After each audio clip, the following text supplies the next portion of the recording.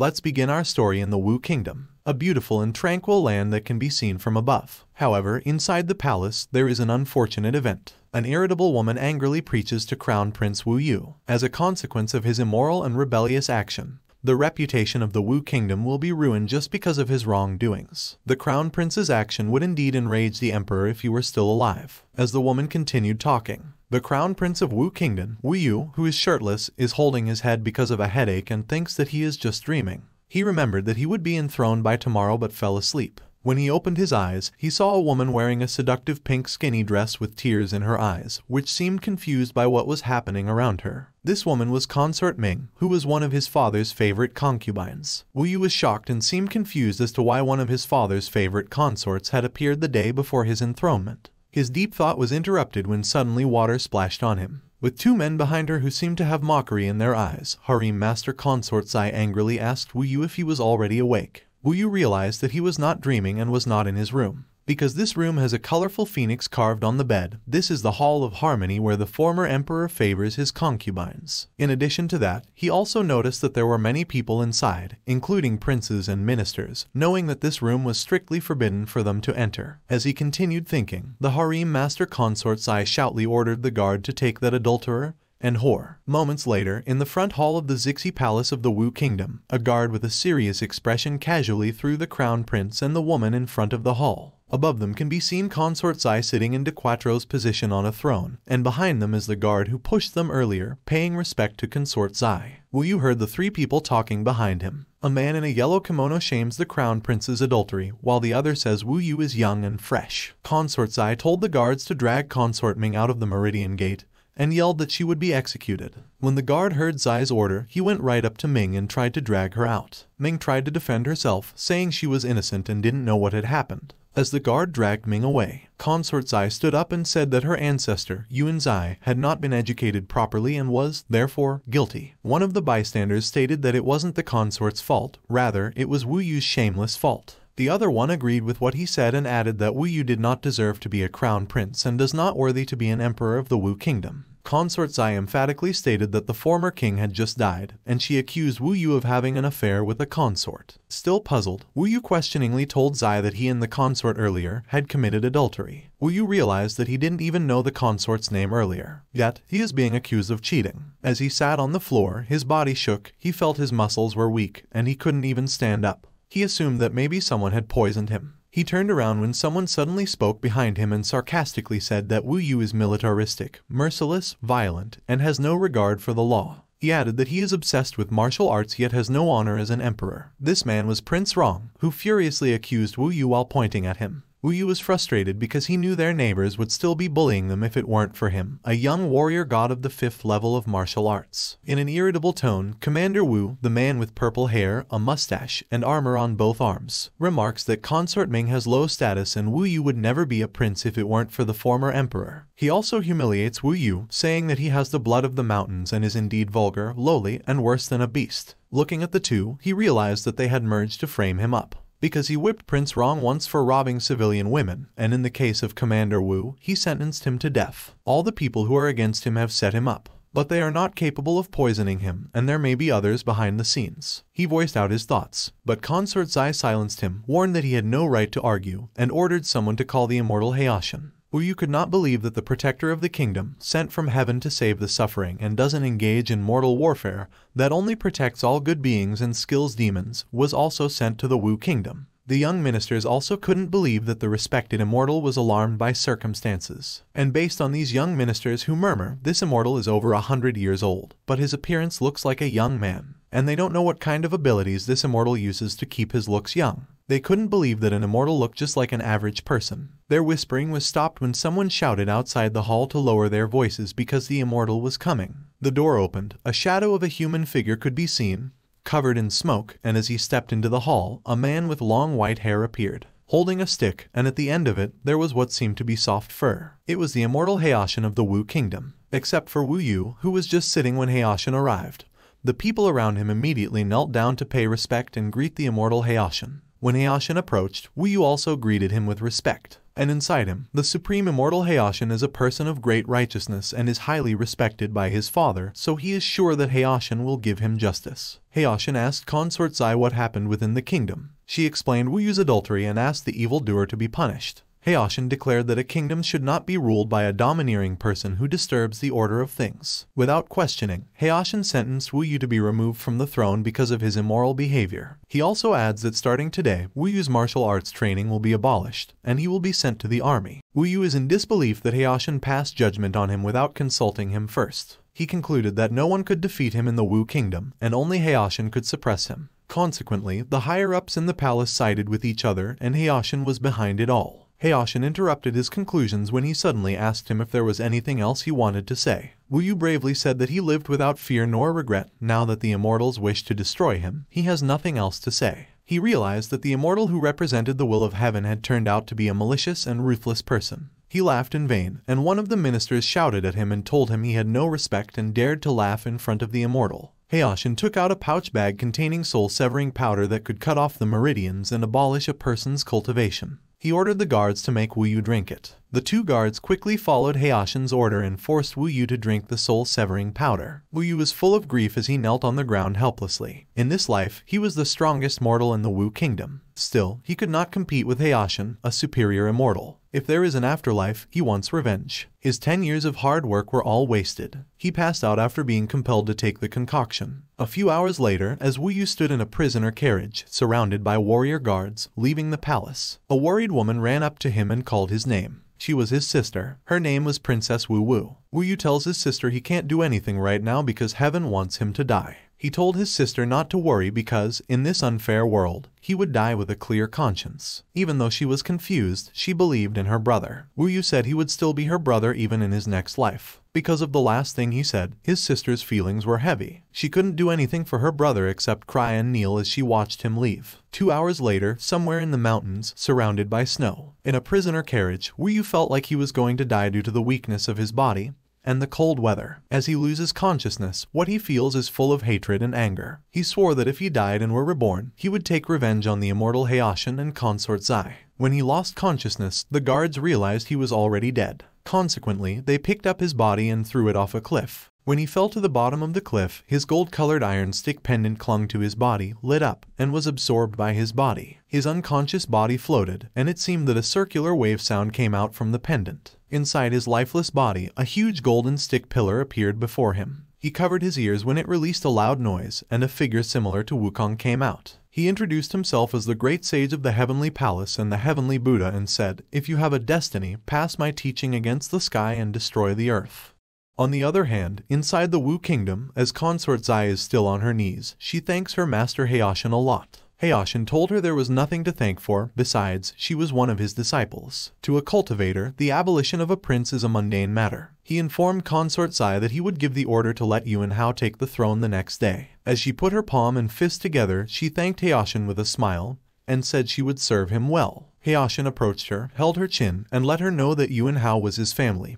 Even if he lacked the talent to be a cultivator, he couldn't let him live an ordinary life. In a worried tone, she reminded Hayashin that Wu Yu was very skillful. Although he was sent to the army, she worried Wu Yu would rise again. Hayashin assured her that Wu Yu would not survive because he ordered Wang King to intercept and eliminate him. Hence, they no longer face any danger. Consort Zai felt relieved at his words. Meanwhile, somewhere in the mountain, as Wu Yu regained consciousness, he couldn't believe he was still alive. When he got up, he noticed that the effect of the soul breaker had disappeared. He can't accept that his fifth heaven martial arts training might just be wasted, including forging flesh, grinding tendons, bone refining, internal strength, and blood transfusion. Everything he had trained for a long time was now destroyed. He is still baffled about his nightmare in the iron rod. He remembers when he was five years old, his mother died, and he was lonely. After that, an old man came to his window every night to tell stories. He wanted to see the old man, but when he went out, he disappeared. After a year, one night, the old man came in and threw a small rod.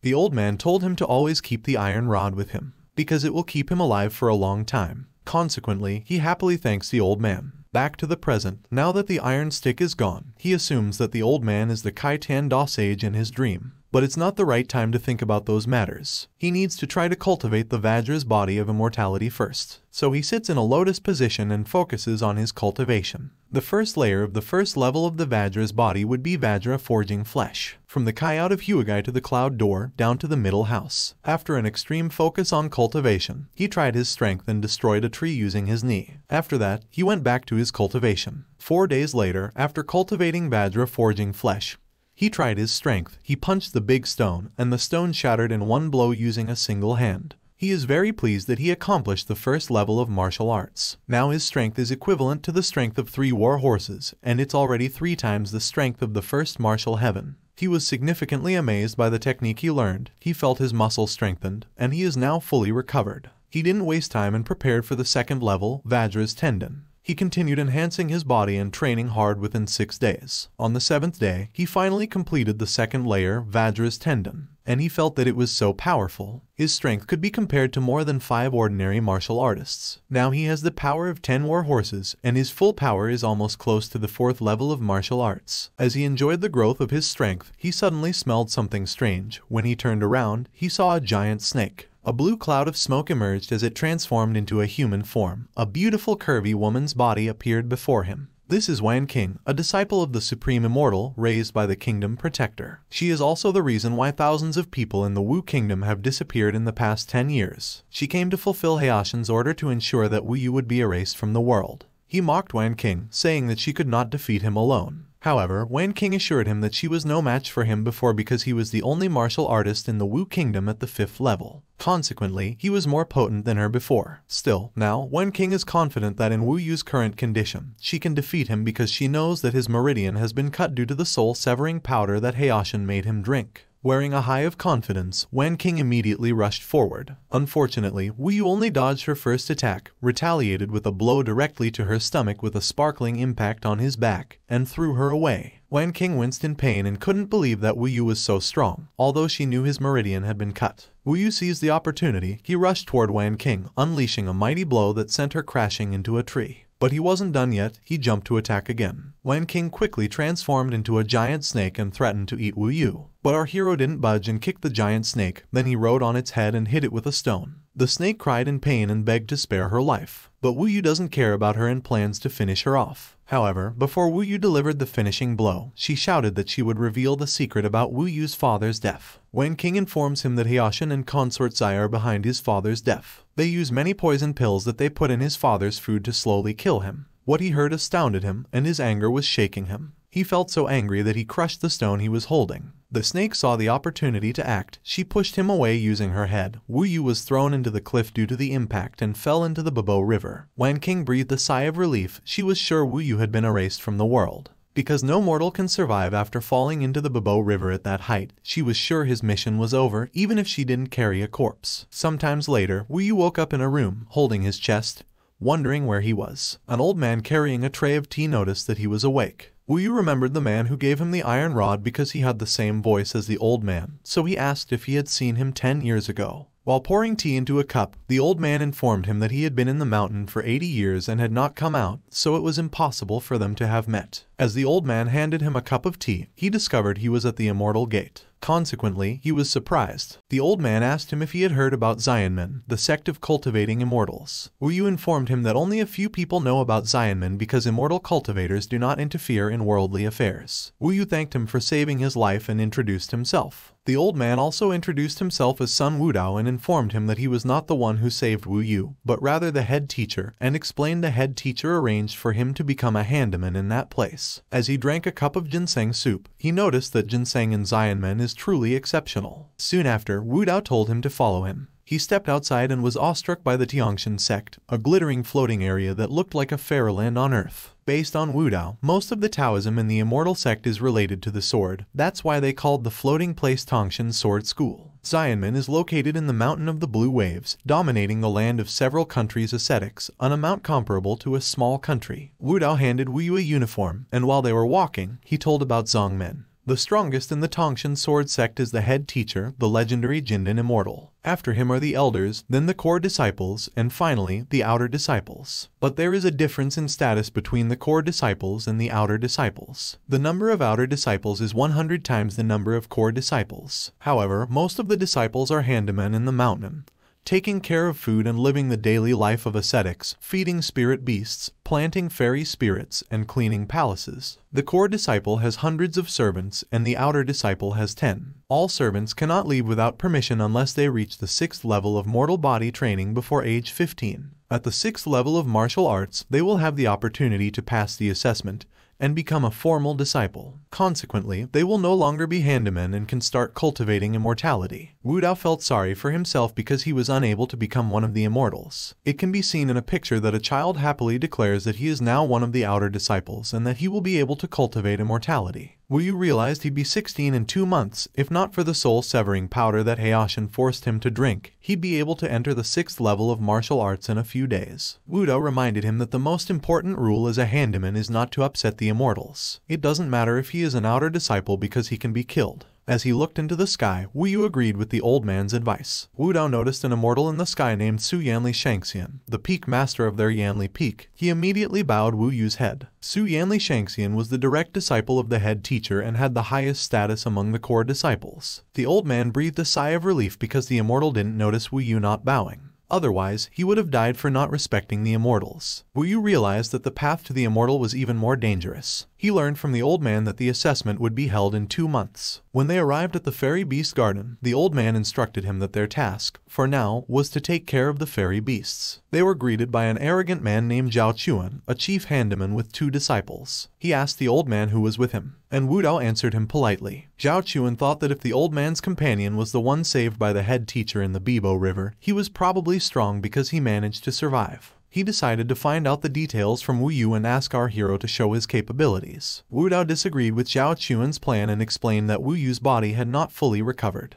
Moreover, Zhao Chuan was at the fourth level of mortal body training, and it was unfair for someone weaker than him to fight him. Consequently, Zhao Chuan was annoyed and let them be. He threatened them that their lives would be exchanged for it if they did not complete their task. He shouted that some Shanxians were visiting the place to check their cranes. He warned them they would take their dog to fill it up if an accident occurred. At the same time, in the air, four immortals are talking while riding their big cranes. The man said that he came to see his senior sister Su Yanli to learn the method of immortality, and he asked the pink-dressed woman if she had brought a thank-you gift. The woman insulted him by saying he just wanted to bring a thank you present because he feared being criticized by Su Yanli for his recent poor training. As the cranes landed on the ground, the man just laughed at the woman's words. On the other hand, Wu Dao reminded him to bow down and not look directly at the immortals. When the immortals passed him, Wu Yu realized that if it weren't for the soul-severing powder, he would have been one of the immortals. By late afternoon, while Wu Yu was sweeping, on the other hand, an immortal Sidu Jin, who was an outer disciple, was furious when he saw that his crane was lifeless. Zhao Chuan pointed at Wu Yu and accused him of serving Sidu Jin's crane. Zhao Chuan secretly smiled strangely after accusing Wu Yu, but Wu Yu emphatically denied the accusation against him. Sidu Jin didn't even listen to Wu Yu and whipped him angrily. Wu Yu crumpled to the ground and Sidu Jin insulted him. Wu Dao intervened. He took the blame and begged to spare Wu Yu. Still, Wu Yu knows that Zhao Chuan is targeting him, so he won't let the old man get involved. Remarkably, Wu Yu boldly said that only one was guilty and that only one should take responsibility, regardless of what happened. Jin smiled with a hint of annoyance. He hates people who are useless yet dare to show bravery. The woman even pointed out that Wu Yu should be finished off to set an example for other servants. Jin agreed with her and whipped Wu Yu with all his strength, sending him flying and destroying whatever he had collided with. After concluding that Wu Yu was no longer alive, the two immortals decided to leave. On the other hand, Wu Yu was still alive and bearing the injury he received from Jin's whip. Because of his humiliation and oppression, he is determined to join the Xian men and plan to take revenge, especially on Zhao Chuan, who framed and accused him. He will not let him escape. The old man worriedly ran to him and advised him not to hold a grudge against the immortals, for the reason that mortals cannot fight against immortals. But in Wu Yu's case, it is not easy to forget what happened. He asked the old man why he was so kind to him. Unfortunately, the old man's life has been like this from the start, and he has no desire for Wu Yu to experience the same bullying that he has. However, Wu Yu cannot assure him of anything in this matter. As he now possesses Wukong's invincible body, he intends to join the Xian men, and exact his vengeance. After only 10 days of rigorous training, he had nearly reached the third level of Wukong's invincible body, and was not far from becoming a golden flame bone. A few seconds later, he became aware that he was being observed. It turned out to be Zhao Chuan with a few other disciples. They felt something strange about Wu Yu because they knew he was weak but managed to survive the powerful whipping of an immortal. They just assumed that our hero was just lucky. Zhao Chuan suspected Wu Yu of possessing some secret books or pills and threatened to release them. Otherwise, they would kill him. Wu Yu let them know that he had nothing to give them. He knew that Zhao Chuan was at the fourth level of body training, which had strength comparable to 20 horses and was twice his power. It will be challenging for him if they fight each other now. A disciple mockingly stated that they would finish Wu Yu for being stubborn and requested permission from Zhao Chuan to crush our hero's face so that he would never be able to speak properly again. He dashed forward, gathered a whirlwind in his fist, and declared to his master that he would send Wu Yu to heaven in one punch. However, he remains unfazed and waits for him to approach. He dodges the punch and kicks the disciple in the stomach. The disciple vomited blood and was thrown back. Zhao Chuan can't believe in his power, so he instructs his disciple to attack simultaneously and avenge their fallen comrade. Nonetheless, Wu Yu is still undaunted. He swiftly punches the blue hair one, smacks the head of the purple hair one into the ground, punches the face of the gray hair man, blows the chest of the green hair disciple using his knee, and kicks the last one. As he watches his comrade getting defeated, he realizes that Wu Yu isn't an ordinary handyman and notices that his body moves are very professional with a solid body. Consequently, he must give his best to defeat him. On the other hand, Wu Yu is astounded by his invincible Vajra body and feels so powerful that even a simple attack cannot harm him. He provoked Zhao Chuan to fight him. Nonetheless, Zhao Chuan is confident with his sword that our hero cannot match him. However, Wu Yu is very positive. He clenches his fist and dashes forward using his flame tiger. Zhao Chuan patiently awaits his attack and informs him that he is unaware of his own strength. He dodges Wu Yu's punch, sways his sword, and lets him know that if he thinks anyone can be the boss in the Immortal Beast Garden, he is wrong because no fool can be appointed as a boss in the Immortal Beast Garden. Seeing the advantage of their master, the disciples become hyped and cheer for their master. The blue hair man encourages his master to finish Wu Yu off, and the gray hair guy suggests they must get the treasure first. Consequently, the blue hair man agrees with his companion. On the other hand, Wu Yu notices Zhao Chuan's power. He is already in the inner strength realm. His internal organs have been forged, and his breath is long. So it's not easy for Wu Yu to deal with him. On the contrary, because Wu Yu is the old man's companion,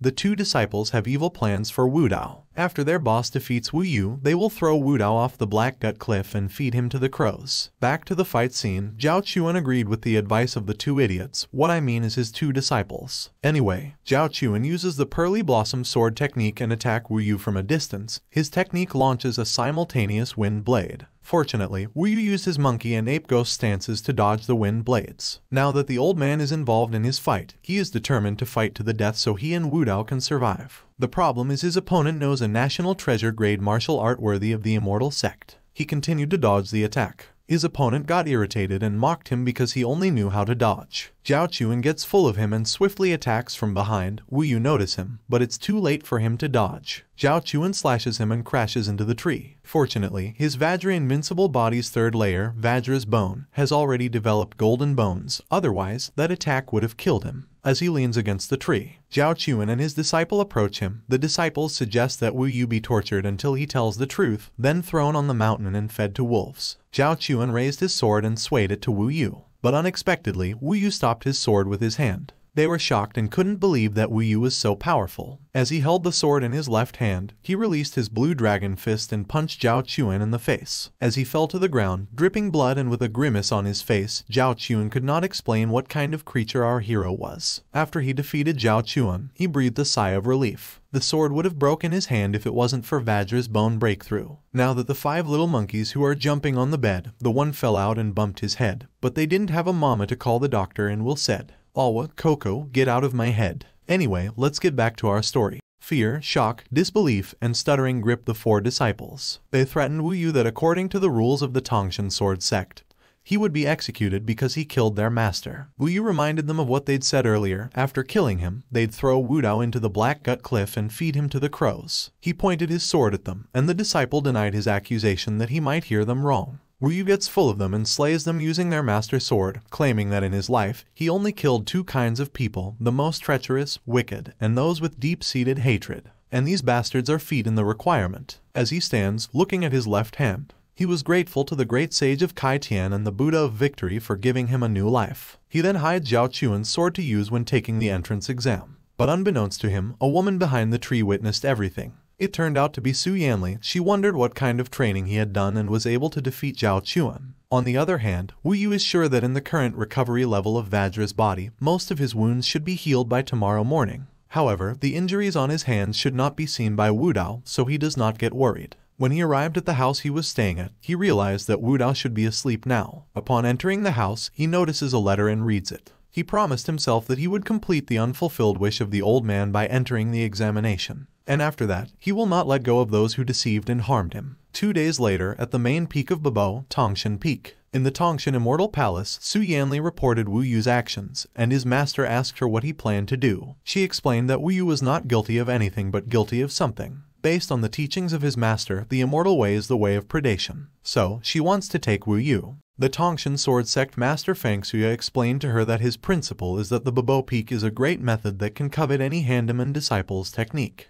With his ways of cultivation and a guaranteed teacher, she will be able to reach the golden core stage and even the level of a teacher. She agreed with his master and let him know that from now on, she would concentrate on cultivating her master's Tongshan sword Dao. Her master was impressed by her words and asked her to join him in having the ambition to take care of the world. Although the immortal path is dangerous, it must also be worthy of the heart. Bullying the weak is not his principle. He gives his permission for her to leave and informs him that Wu Yu is destined to be an immortal. Since he is a member of her peak, it's worthy to take good care of him. Su Yanli politely agrees with her master, saying that she understands. One month later, Wu Dao is concerned about Wu Yu and advises him not to go out and just rest. From what he knows, Zhao Chuan and his disciple died due to a demon going berserk. With a bright smile, he told him not to worry since he would just stay near the fairy beast garden. He wouldn't go far and ask Wu Dao to remind him when it was time to work. The old man agreed and reminded him to be careful. As he leaves the house, he is glad the old man was so nice and treated him like his own son. He wants the old man to be proud of him, so he plans to surpass everyone. Somewhere in the beast garden, as he sits in a lotus position,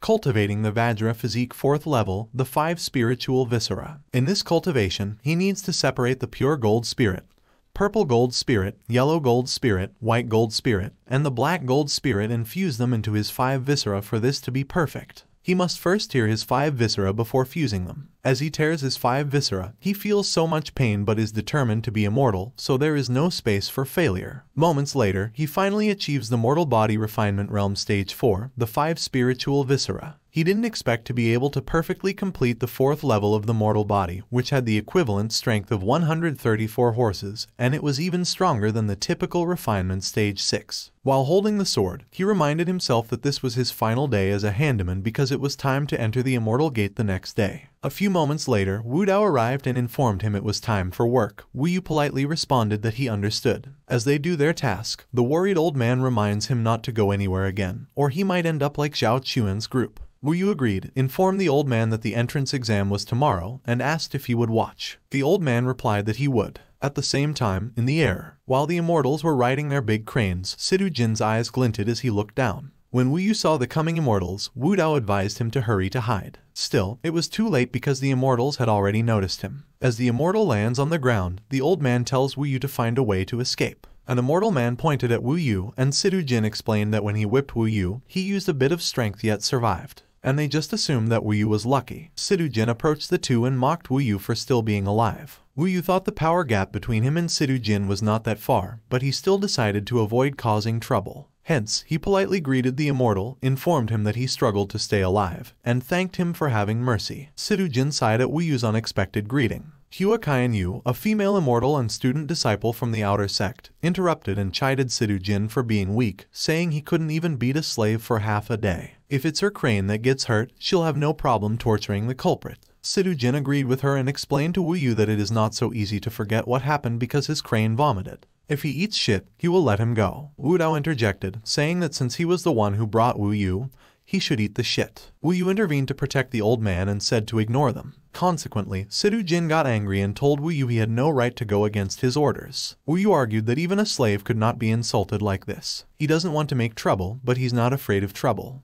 The three handymen who are witnessing the scene believe that this is the end of Wu Yu. They also know that Zhao Chuan framed Wu Yu into this mess. Sidu Jin raised his whip, but before he whipped Wu Yu, he flew away and crashed into the rock. In the aftermath of the blow, he was surrounded by smoke and demanded to know who had the nerve to attack him. Just as his front became visible, Su Yanli appeared. His mouth opened wide, and he wondered why the woman was there. Su Yanli explained that this is her territory, and the three of them are no longer allowed to go to her territory. Sidu Jin argued that Wu Yu was just a lowly slave. However, Su Yanli dictated that Wu Yu was part of her peak, and if he needs to be punished, she should do it herself, not him. He warned Su Yanli that his 13-year-old brother Sidu Mingling had already reached the peak of the body refinement stage, and his talent was much better than hers. Hua Kaian Yu added that the Protection Sect Sovereign is ready to accept Sidu Mingling as a disciple. In the future, his status will exceed hers. With fierce eyes, she asked them if they were threatening her. The three immortals quickly turned around and rode their crane. Sidu Jin explained that he wouldn't dare threaten her, he just said he would leave Yanli Peak. But deep inside him, he is shaking in anger and wants to take revenge when his brother becomes the son of heaven. Wu Yu politely thanked Su Yanli and she replied that it was nothing. As the woman flew away, Wu Yu realized that Mingling, who was 13, had already reached the pinnacle of martial arts and defied heaven's laws. But Wu Yu, who is 15, is only in the fifth stage of martial arts. The old man breathed a sigh of relief because he thought he would not be able to watch the exam tomorrow and realized that the entrance exam of the Ascension Peaks was quite far away and suggested to Wu Yu that they leave tonight. Wu Yu tells Wu Dao not to worry because he will carry him to the Ascension Peak. Wu Yu thinks he must win the exam to change his life. At the Ascension Peak, the viewers are already excited about the exam. Wu Yu explained to the old man that the participant disciple must start from the bottom of the peak to compete, and from here, the old man can watch the whole thing. Wu Dao thanked him and jokingly said that he could see the genius that would succeed in his position. Before he left, Wu Yu said with a bright smile that he would tell everything that would happen in his exam. The old man agreed with him. Wu Yu then went to the bottom of the peak with a smile. At the bottom of the peak, in the registration area. After registering, the examiner took him to the first test. The first test is to measure strength by restraining the horse. When the examiner knew Wu Yu was ready, he whipped a horse, causing it to run. But our hero didn't even break a sweat in the first test. After passing the first test, the examiner handed him a red fire charm that he could use in times of danger. He just needs to destroy it, and the disciple will come to save him. He added that he could withdraw voluntarily. The examiner informed him that he could now go to the first level, the road to immortality. When he arrived at the said place, he thought the number of participants in the examination was around 300, and he had to be serious. On the other hand, at the mountaintop of the immortal platform, while Wu Dao turned his head to look for Wu Yu, he realized that the test on the road to immortality was about to start, but he did not see Wu Yu yet. In a small floating hut in the same area, Elder Mu Ji asked Su Yanli if she had any excellent servants. She informed him that there was one, and it was Wu Yu. As far as Elder Mu Ji knew, she didn't pay attention to ordinary servants, and he was curious about what was so special about Wu Yu. She clarified that she wanted to know how special Wu Yu was, so she came to see him. Because of what he heard, the old man decided to pay attention to the servant. In the sky, while riding the big crane, Hua Kaian Yu irritably said that what is so interesting about the lowly servants and they are just wasting time. Sidu Jin defended himself by saying that they just came to watch the participants for fun. An immortal told them not to be too proud and informed them that three appraisal disciples were in the seventh level of the body forging realm, which was one level stronger than them. Sidu Jin said his brother is also in the seventh level. An immortal from behind suggests they guess which of the three will get out of the gate because he feels bored. On the road to immortality, a participant named Lin asked his companions if they knew the three people who were the strongest in the examination. The other replied that he was too young and begged to introduce them to him. The other one agreed and added that Lin was the chief of the core disciples. Lin pointed to a boy with a sword behind him. His name is Zhao Danlong. He had the seventh level of body forging, equivalent to the strength of 200 battle horses. He is apparently 14 years old and has already achieved the status of being a great swordsman. Then there was the man in red, and it was Jeju, who had the seventh level of body forging and was raised by a tiger in a wilderness mountain. He is good at the eight stances of demon killing and the phantom snake steps. The last one is the girl named King Meng. She is 12 years old, and her Yukushin sword shadow and footwork are very powerful. Wu Yu is amazed that a 12-year-old has already achieved the 7th level of body forging. When the participant arrived at the gate of the road to immortality, the examiner in black explained to them what they would be going through. They will face three waves of powerful monsters close to becoming demons. The monsters are dangerous. If their lives are in danger, they can use the red fire talisman, and the examiners will save them. Out of all 300 participants, only 100 could participate in the next level of the exam, which was the Battle of the Immortal Platform. As he held his fan, he reminded the participants that they could only exit the road to immortality after completing the test. Now that the time has come and they are on the road to immortality, they only need to remember one word, kill. After explaining, the participants shouted kill simultaneously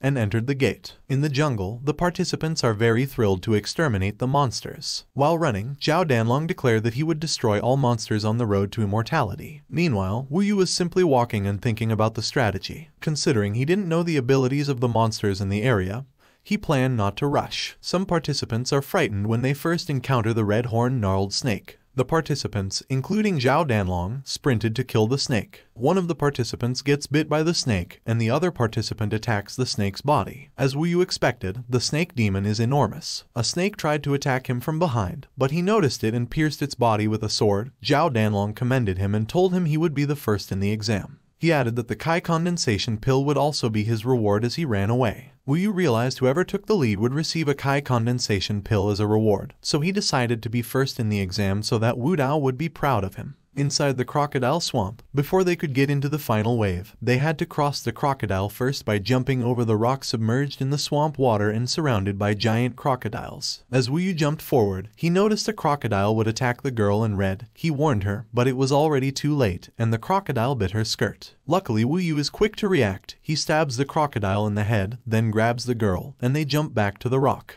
The girl thanked him for saving her life. He continued to jump forward, advising her to be careful next time. The examiner reminds the girl to use the talisman the next time she is in danger. Wu Yu and other participants arrive at the final wave of the road to immortality, the underground cave. The giant demon ape inhabits this cave. One of the apes rushes toward Wu Yu, their fists clash, and an impact from their punch can be seen. The ape is strong, but it's not much for him. The only problem is their number, and it's impossible to wipe them out. He realizes that the final wave is about the test of footwork. Wu Yu saw the arrival of the three and was aware of their capabilities. If he doesn't do something, he will fall to fourth place. Zhao Danlong remarks that the demon apes can absorb blood energy. Since the casualties are too many, their blood is absorbed, and the ape becomes stronger.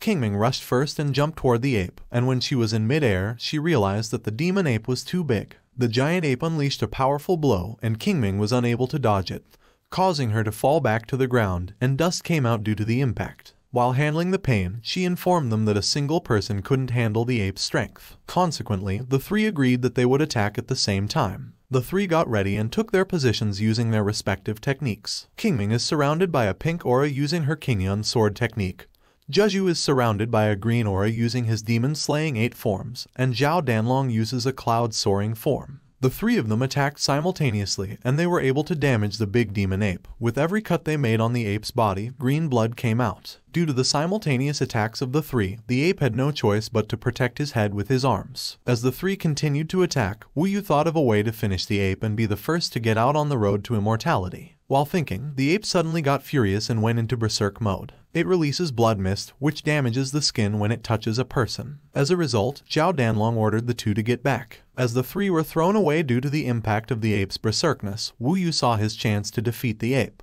The blood mist from the ape does not affect him because he has Vajra's body, and he is determined to be the first in this exam. Moments later, on the immortal platform, in the floating small hut, Elder Muji noticed that the participants seemed to be in the third wave. He asked Su Yanli who she thought would be the first to come out. Based on this exam, the third wave is to test the footwork, so she feels that Kingming will be the first because her footwork can be compared to top-grade martial arts. The old man thinks Jeju will be the first because he grew up on a mountain with beasts. Among the viewers, the fat one predicted that Zhao Danlong would be the first to come out because of his 13 swords skill. The other bet is Kingming because of its sword reflection technique. Another said they shouldn't focus on the three as someone might be better than them. Meanwhile, Wu Dao is worried about Wu Yu. The spectators stood up when they noticed someone coming from the road to immortality. When they saw the first one that came out, they asked who it was because they had never seen him before. Su Yanli, on the other hand, was stunned, gaping, and in disbelief when she saw that Wu Yu was the first to come out, knowing that Wu Yu had taken a lot of effort just to defeat Zhao Chuan. Elder Muji was also stunned because a new face was the first to come out, so he told Su Yanli that it looked like this was Wu Yu that she mentioned. Although his ability is unique, he seems like he's older compared to the other participants. Su Yanli didn't answer him directly because she was still dumbfounded and wondering what Wu Yu did and was able to take the lead. Underneath the small floating hut, Wu Dao noticed someone familiar to him was the first to come out. The fat handyman informed him that it was Wu Yu. When the old man looked closely, he realized it was really Wu Yu. He speculated he might have lost his way and unexpectedly ended up on the immortal platform stage. He foolishly asked the fat handyman what they were going to do, but the fat man reassured him that Wu Yu came from the road to immortality, so there was nothing to worry about. The old man couldn't believe what the fat handyman said because he didn't expect Wu Yu to be able to lead the exam. On the stage platform, Wu Yu happily waves to the old man and says he managed to lead the third level of the exam. The fat man and Wu Dao were pleased with Wu Yu's achievement. From the air, Huakai and Yu pointed to Wu Yu, and before she could finish what she had to say, Sidu Jin disappointedly informed her that he had seen it too. An immortal cough before speaking, explaining that Wu Yu was weak when Sidu Jin whipped him. Still, now he has managed to lead the road to immortality. He also assumed that Wu Yu might have a strange plan. Huakai and Yu added that Wu Yu might take revenge on Sidu Jin. Sidu Jin said irritably that he thought maybe Wu Yu, a lowly handyman, was lucky to lead the exam. He added that they would continue to observe if Wu Yu was able to pass Immortal Ascension. From the floating hut, Elder Muji warmly congratulated Wu Yu for being able to take the lead in completing the Road to Immortality test. He informed them that Wu Yu's name would be engraved in the history of the Great Sword Sect. After speaking, the crowd cheered happily, while Wu Yu, who was standing, smiled as he took the first step to victory. Wu Dao, on the other hand, could not explain the overwhelming joy at what Wu Yu had achieved. A few seconds later, the three emerged from the road to immortality. Zhao Danlong angrily declared that Wu Yu was shameless for taking the kill that should have been his and threatened to kill him. When he turned around, he quickly blocked Zhao Danlong's attack with his sword. Elder Muji angrily warns them they should stop. Anyone violating the rules will be disqualified. Zhao Danlong gritted his teeth as he stopped the attack and threatened Wu Yu to wait, and they would settle again. Inside Wu Yu's mind, he knew it was clean and without deception what he did to defeat the demon ape using his skills and Vajra's body. After a while, 100 participants were complete, and the chaotic battle with many variables was about to begin. The next test is the Immortal Ascension fight. Anyone who falls on the stage and uses a red fire talisman will be disqualified until only 30 participants are left, and killing is strictly prohibited.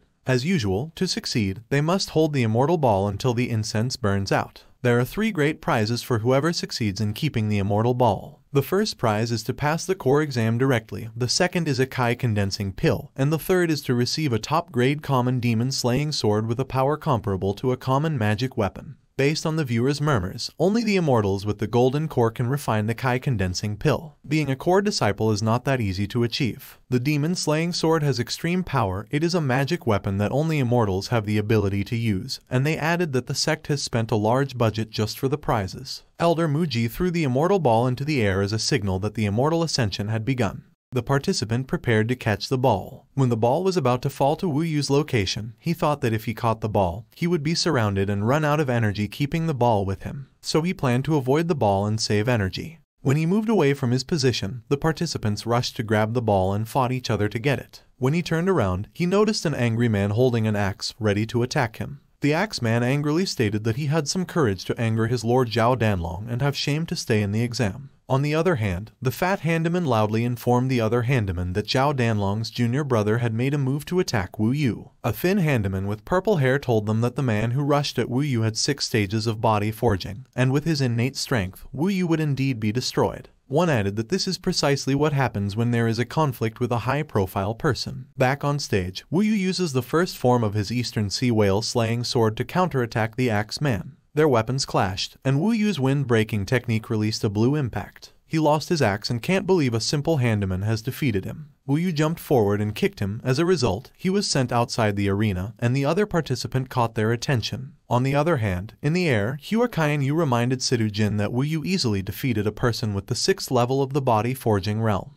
She was afraid that Wu Yu was on the same level as them. Sidu Jin, who still doesn't accept Wu Yu's power, confidently says that Wu Yu's tactic is just a trick, and when they face each other, he will finish him off with just two or three strikes. While munching on watermelon on the platform, the chubby handyman remarked to the old man how impressive Wu Yu's strength was, which the old man happily agreed with. On the other hand, the man in green pointed to Zhao Danlong. He informed his companions that Zhao Danlong was already holding the immortal ball. The man in the middle knew that Zhao Danlong was one of the three strongest among the participants. Still, he wondered if Zhao Danlong would last long enough to hold the immortal ball. The other man agreed with him as he saw that Zhao Danlong was already surrounded. On the stage, Zhao Danlong easily defeats those who try to steal the immortal ball from him using his fierce sword technique. The opponents are knocked off the stage. Jeju saw the opportunity to attack Zhao Danlong. He punched him in the face, causing his body to crash into the floor and leave the ball in the air. He took the ball with a smile. As Zhao Danlong bounced away, Wu Yu, who was standing, just looked at him. When he got up, he mocked Wu Yu and stated that he was a disgusting villain who only knew how to hide.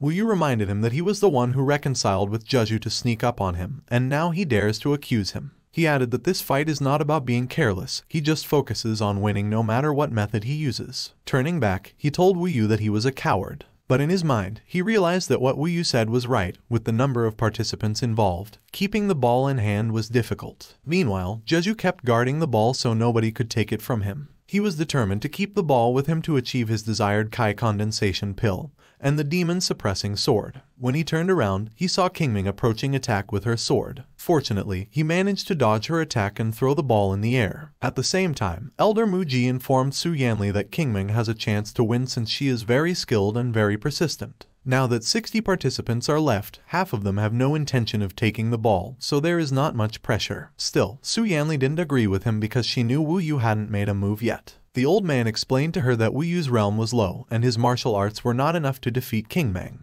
An immortal man in the sky noticed that Su Yanli thinks highly of Wu Yu. Sidu Jin grinding his teeth, irritably declared that what he said was nonsense and even made a bet that if Wu Yu got the immortal ball, he would eat rotting shit. While the other participants continue to compete on the stage, Kingming thinks she will compete in the Immortal Ball later. A while later, as the participants were still fighting for the Immortal Ball, Kingming told Wu Yu that she noticed he had not played yet, so she asked him if he had any plans to compete in getting the Immortal Ball. Wu Yu answered yes. Kingming didn't waste time and quickly went to the middle of the stage to grab the ball from the other participants. After getting the Immortal Ball, she challenged the participants, saying that whoever dared to steal the ball from her, she would not hesitate to knock them down. Since there are only a few remaining participants and they know how powerful Kingming is, they do not plan to steal the ball from her because they are content to be accepted as a disciple. Holding her sword, she pointed at Wu Yu and challenged him to snatch the immortal ball from her. Wu Yu did not hesitate and granted her request. The crowd is excited about the fight between the two, and the others do not see Wu Yu's potential to defeat King Meng. Using the second form of the Eastern Sea Whale slaying sword,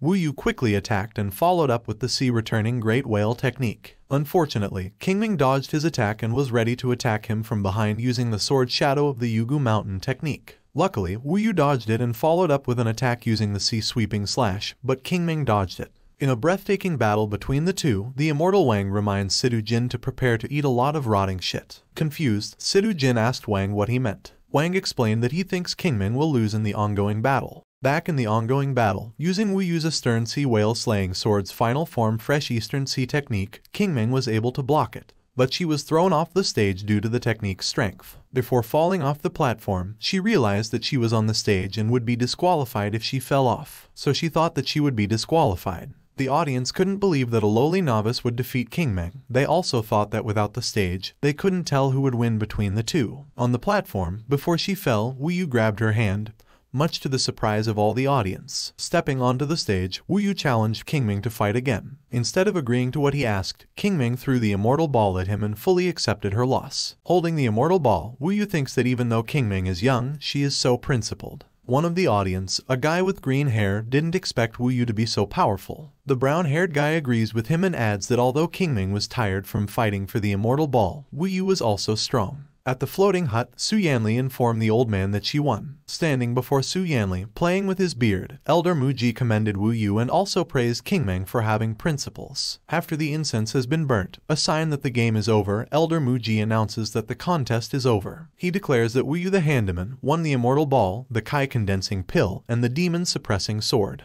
Elder Muji announces that as of today, Wu Yu has set foot on the Immortal Path and has officially become a disciple of the Immortal Sect. As the people cheer for his achievements, Wu Yu, with a simple smile, still holding the immortal ball and with a closed fist, thinks that finally he has set foot on the immortal path. Even the crown prince of the Eastern Wu would be hard-pressed to come across such great treasures as the condensation pill and the demon-suppressing sword. The audience put their hand in the air with closed fist as they shouted Wu Yu's name and cheered for him. With a bump close fist and palm, Kingming congratulated Wu Yu. On the other hand, Wu Yu delightfully reminded her not to mind the age gap because they could become friends. With a blushy cherry face, Kingming stuttery replied that Wu Yu was not a bad person. On the other hand, with tears in his eyes, Wu Dao was very happy about Wu Yu's accomplishment and added that there were no regrets in his life. The thin guy happily told Wu Dao that Wu Yu ascended to heaven in a single step, while the fat guy cheerfully stated that he could see a bright future await for Wu Yu now that he had won both the competition and the treasure. He then reminded the old man not to worry anymore about the future. At the sky, seeing that Wu Yu had succeeded, Immortal Wang was amazed at Wu Yu's rapid growth of strength. Disappointed, Sidu Jin stated that he would not let Wu Yu bask in his glory. At the stage, Elder Mu Ji faces the 30 participants who passed the exam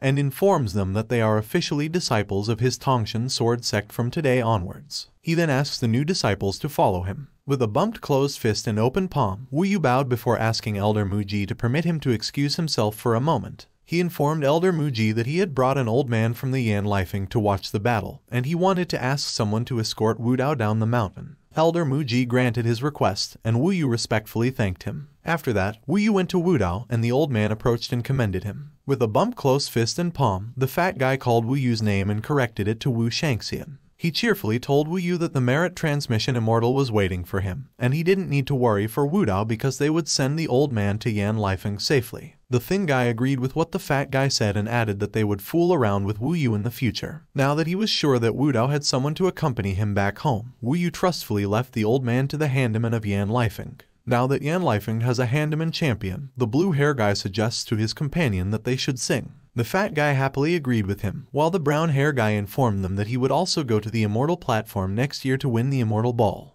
While the handymen were happily singing on their way home, Hua Kai and Yu noticed them from above and quickly informed Sidu Jin that the old man was the one who used to protect Wu Yu. Sidu Jin grinned and stated that he would make Wu Yu regret this time for the rest of his life. At Wangshan Peak, Elder Mu told the new disciples that the Wangshan Peak would be their new residence. Each person has a palace, and there are books in the palace, such as sect rules and records of the Dingsheng Immortal Continent which can help them understand the sect's rules and the Dingsheng Immortal Continent's power, territory, distribution of demons and monsters, etc. He informs them that Outer Court disciples can receive one flying fairly grass and one talisman every month. The senior brother in charge will tell them about specific matters, so they should find suitable accommodation. He ordered the new disciples, except for Wu Yu, that they could now go. After they leave, Elder Mu Ji explains the item that Wu Yu had won. The Kai condensation pills need to be used when his martial arts are complete. The demon suppressing sword is also a treasure, so it needs to be treated well. Holding a box of pills and a sword, Wu Yu politely told Elder Muji that he understood. In his mind, now that he has become immortal, Wu Yu thinks he can start the path for his revenge. Elder Muji permitted him to leave so that he could now go and choose his accommodation.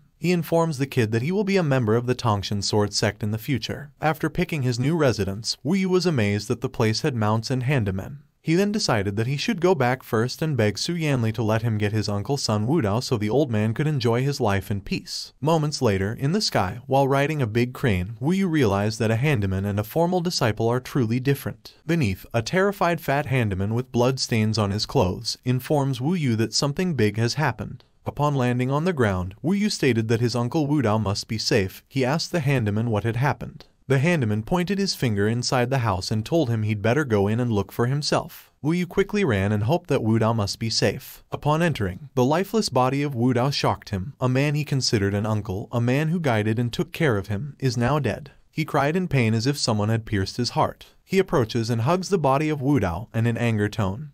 He repeatedly asks who did this to his uncle. Tears of pain drop in his eyes as he hugs Wu Dao tightly and asks what really happened. In a sad voice, the handyman informs him that the one behind all of this is the immortal Sidu Jin. He elaborates that on their way home, they met Sidu Jin with his companion, and they killed Wu Dao, including the other handyman who was singing at that time. Hearing this made Wu Yu lose himself and shout the name of Sidu Jin. During the incidents, as Sidu Jin pointed his sword, he called all the handymen trash and added that even if Wu Yu became a disciple of the immortal sect, he couldn't do anything to them. The handyman explained to Wu Yu that the other handymen tried to protect Wu Yu with their words, and as a result, Sidu Jin cut off their tongues. Still crying and full of anger, Wu Yu declared that he wouldn't let everyone die in vain after all their hard work. He bows before the body of Wu Dao and says that even if he can't repay Wu Dao's kindness, he will make sure that he will avenge his death. The handyman advises Wu Yu that the immortal sect disciple cannot kill each other, otherwise, the consequences will be serious. He then reminded Wu Yu that he had newly joined the immortal sect and asked to let the matter go. Gritting his teeth, Wu Yu stated that if he didn't kill Sidu Jin today,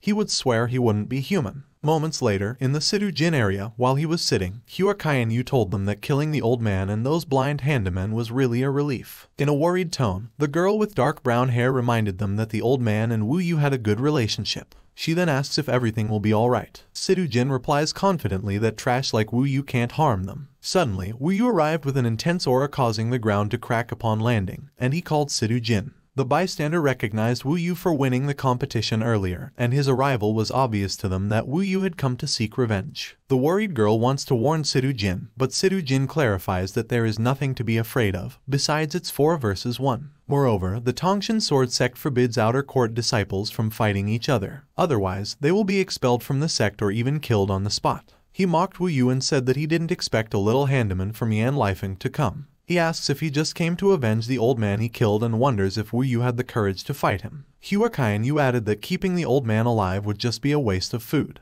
The guy with closed eyes agrees with what Huakayan Yu said and informs Wu Yu that it's not worth it to be expelled for just a piece of trash. The worried girl earlier gave him a warning that if he continued to fight, they would not have a choice but to kill him. Wu Yu unsheathed his sword and stated that none of them would get away with killing Wu Dao, he would make them pay. He then makes the first move and rushes forward. Seeing this makes the three little monkeys wonder if Wu Yu is really seeking to die, knowing that Sidu Jin's elder brother and younger brother have a strength that can be compared to a core disciple. As he unsheathed his sword, still arrogant and confident, Sidu Jin told his comrades to leave the matter to him. He then stated that Wu Yu became arrogant after becoming an outer court disciple, so he would make Wu Yu understand the gap in their strength. Using a frost chariot sword technique, Sidu Jin told to trash Wu Yu to eat the frozen ground. On the other hand, using his breaking the wind and wave technique, Wu Yu was unfazed and continued his attack. The two swords collided, and a cloud of smoke and massive ice could be seen in their clash. One of the swords got broken, which is from Sidu Jin, who is now starting to fall due to the attack he received. Wu Yu jumped forward to finish him off, and seeing this make Sidu Jin's comrade confirmed that Wu Yu was really going to kill Sidu Jin. They rush on to protect their arrogant comrade, who is now ordering them to finish Wu Yu off. But Wu Yu remains unfazed, with full of vengeance in his eye. He warns them not to interfere if they don't want to die.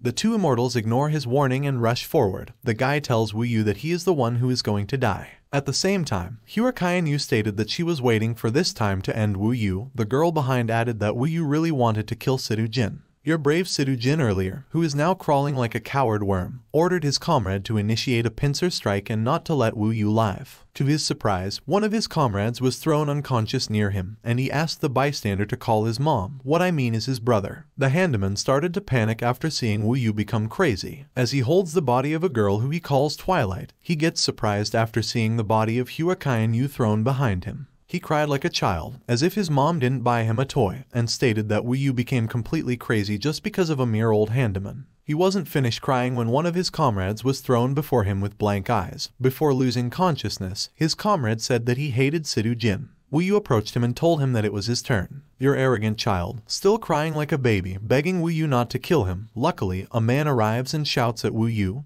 he asks Wu Yu how dare he touch his brother. Sidu Jin's big brother, Sidu Kang, quickly rushes toward them and asks Wu Yu if he is seeking death. Upon getting closer, your crying baby told his older brother to finish Wu Yu off. On the other hand, the three handymen were surprised by the arrival of Sidu Kang. According to the man from the left, Sidu Kang was at the seventh level of the body tempering realm, and he assumed that Wu Yu was finished. The man in the middle agreed with him and added that Sidu Kang was different from Sidu Jin because he was a true master who focused on cultivation. The guy from the right thinks the show will be fun. At the fight scene, Wu Yu informs Sidu Kang that there is no dispute between them. He then asks him to get lost because he doesn't want to kill him. In response, Sidu Kang informs him that he poked the wrong tree. He then rushes forward using his thousands mile frost technique with promo words that he will finish off Wu Yu. On the other hand, Wu Yu also rushed forward using his sea-sweeping slash with promo words that Manga Kun script writer was so handsome. Their swords clash, and as it happens, they hold their ass not to fart. Wu Yu moved backward after realizing that his opponent was strong. On the other hand, enjoying the intense show as if they were watching an action in a cinema, the fat guy from the left assumes that Wu Yu won't be able to survive. The guy from the right with blue hair agreed with him and added that Sidu Kang is in a higher realm, so he's at least twice as strong. Eating a slice of watermelon, he says that it's the end for Wu Yu. On the other hand, laughing like a maniac as if his mom had bought his favorite toy, Sidu Jin shouted to his brother not to finish Wu Yu quickly. He wanted to chop Wu Yu up by himself. Back at the fight scene, Wu Yu jumped forward to attack using his sword but gets swayed by Sidu Kang. His right hand started to be frozen, and as he looked at it, he told himself that he couldn't die. He had just embarked on the immortal path, and his father's death had not yet been avenged. Sidu Kang makes another move and hits the sword of Wu Yu, causing Wu Yu's sword to be thrown away. As his hand slowly froze, he started to summon his fire, and as he did so, Sidu Jin stated that it was time for him to die. He then smiled maniacally, and with veins in his eyes, he ordered his older brother to chop Wu Yu up. Kneeling on the ground with support from his left hand, Wu Yu summoned his flame aura and thought it was not the end for him at the hands of a small man, as the heir of the great sage, Wu Yu, the admirable and indestructible Monkey King, cannot be killed by mere mortals like them, because he has golden blood that defies his immortal body. Witnessing the massive aura from Wu Yu, the handyman was stunned.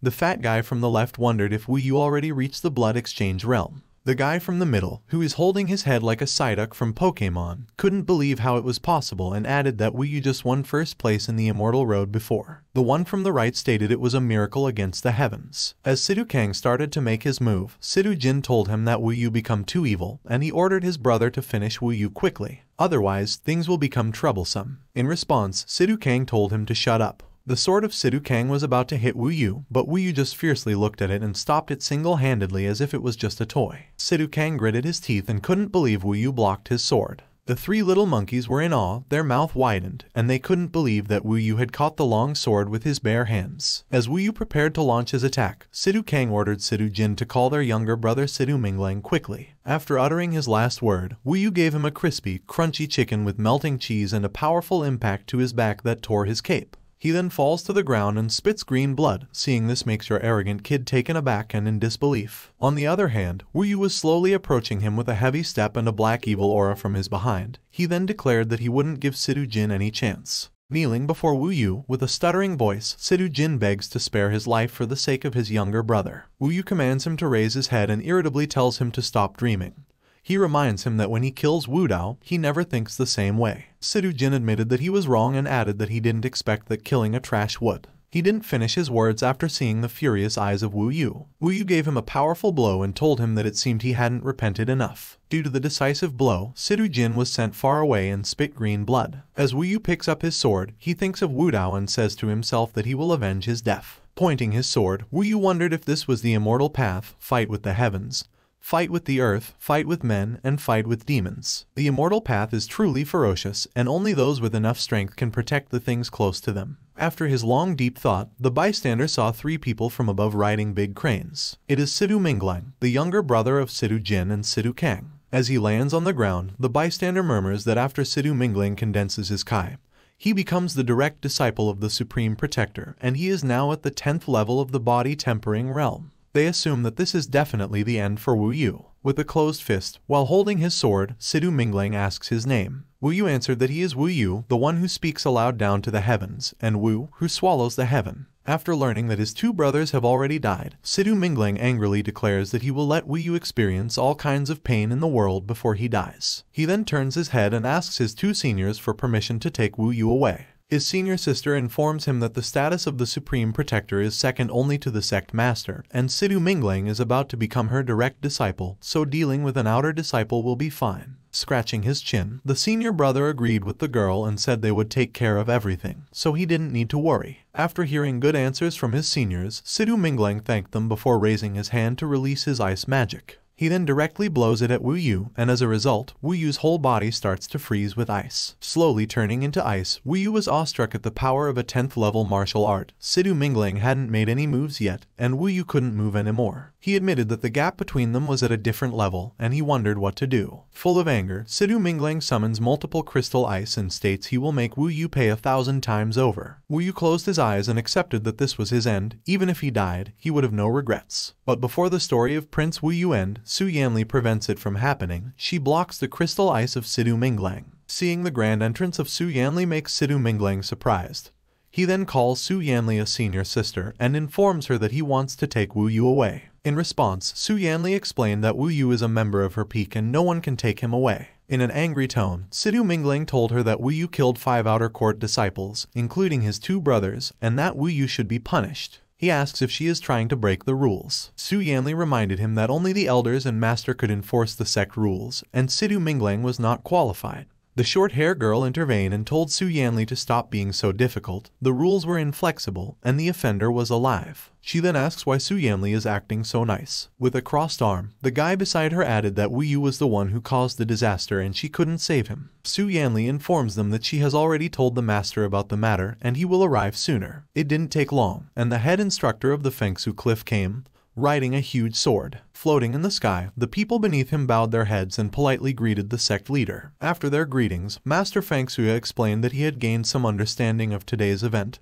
and knew the whole story. Sidu Minglang replies that Wu Yu killed five people in a row and violated the sect rules. He then asks the master to let him handle Wu Yu. Master Feng Sui elaborate that Sidu Jin and his four friends, who tortured and killed a weak elderly man, have lost their virtue as cultivators and are not worthy of being a disciple of the Tongshan sword sect. He added that Sidu Kang's death would serve as his punishment after he helped those who had lost their virtue. With a fierce look, Master Feng Sui explained that their immortal sword slays demons and eliminates evil. Attacking elderly people is a shame to all immortals. He then put his attention to Wu Yu and told him that killing five people, even if they were wrong, was too cruel. He then sentenced Wu Yu to a year of confinement to reflect on his mistakes and repent. The three handymen can't believe what Master Feng Sui said because, for them, the punishment he gave to Wu Yu was too light. On the other hand, Wu Yu thinks that Master Feng Suya is protecting him because, during his one year in confinement, Sidu Minglang won't be able to touch him. Sidu Minglang argues with the light punishment that the master gave to Wu Yu, but Master Feng Suya informs him that he needs to distinguish between good and evil and have a clear heart in order to form his golden core. With a tightly clenched fist, while his body shook in anger, Sidu Minglang gritted his teeth and told Wu Yu not to think he could escape and added that when he came out in a year, he would definitely ask him for an explanation. Wu Yu looked at him, and with self-confidence, he said that after a year, Sidu Minglang was no longer his opponent. Irritated, the guy with the cross arm voiced out that Wu Yu was good at bragging. The short-hair girl added that Wu Yu was at the fifth level of the body tempering realm at the age of 15, while Sidu Minglang was already at the peak of the body tempering realm at the age of 13. Even if they gave Wu Yu 10 years, nothing would change. Master Sui ordered Wu Yu to follow him to the confinement room of the Reflection Peak. Wu Yu make bump fist and palm and informs the master that Sun Wudao treated him like a family member, so he asks Master Sui to give him 7 days to guard Sun Wudao's spirit.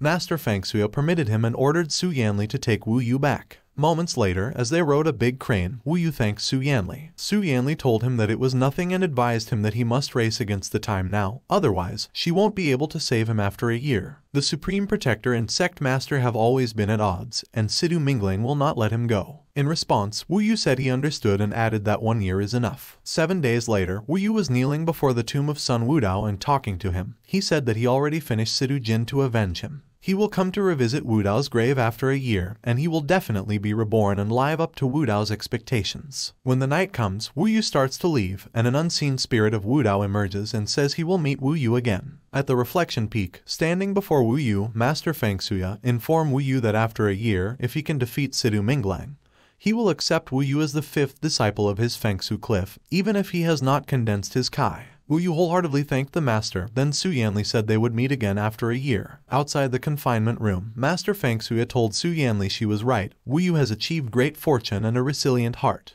He would like to be Wu Yu's guide and also protect him because this is the fate between him and Wu Yu. Su Yanli replied that Wu Yu is indeed qualified to be Master Feng Sui's disciple and added that the disciple of the Supreme Protector is becoming stronger and Master Feng Sui is also under pressure. In response, Master Feng Sui informs her that if that woman hadn't come from that place, she wouldn't have caught Master Feng Sui's eyes. Meanwhile, a massive blue dazzling aura can be seen that pierced the cloud. People saw this and said that Sidu Minglang successfully condemned his Kai. They assumed that in the future, Sidu Minglang's achievement would surpass the sect master and the supreme protector. Inside the palace, while Sidu Minglang was sitting in a lotus position, the supreme protector Lan Huiyan declared that starting today, Sidu Minglang would be her fifth disciple. With a bump fist and palm, Sidu Minglang politely thanked her and added that he would not disappoint his master. In his mind, he planned to finish Wu Yu after a year, at the reflection peak inside the confinement room. While Wu Yu was sitting in a lotus position, he thought that in one year, Sidu Minglang would definitely enter the Kai condensation realm and become a core disciple. So Wu Yu don't have the luxury of time regarding his cultivation.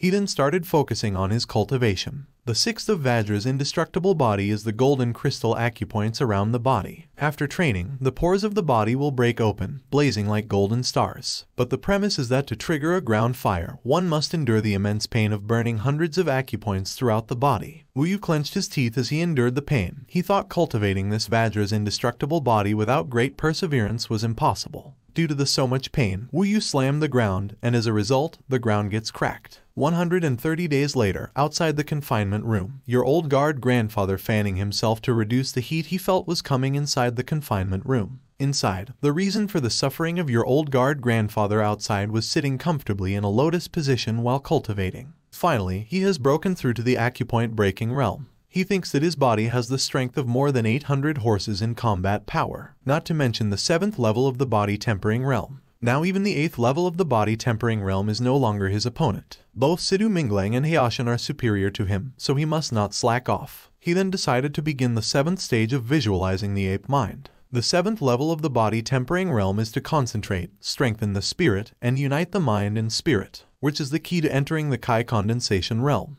Since this is about visualizing the ape mind, it must mean meditating on that unrivaled immortal ape and defeating the Buddha. A monkey king appeared. He was the great sage of the heavenly palace and the immortal realm and fought to defeat the Buddha. He stated that those who are destined should take on his mantle, go against the sky and destroy the world. Enduring so much pain in his heart, Wu Yu declared that he wouldn't give up, he would be reborn, and his blood feud had not been avenged, so he must persevere. Outside, your grandfather stated that Wu Yu is truly a madman, and his practice is full of crying and howling. Striving hard is good, but unfortunately, Sidu Minglang has already condensed his Kai and ascended to the sky. But Wu Yu doesn't know about this yet, and if he knew, your grandfather assumed that Wu Yu would probably be scared to death. 200 years later, as he raised his hand with fire, Wu Yu was delighted that he had achieved the seventh level of the body tempering realm.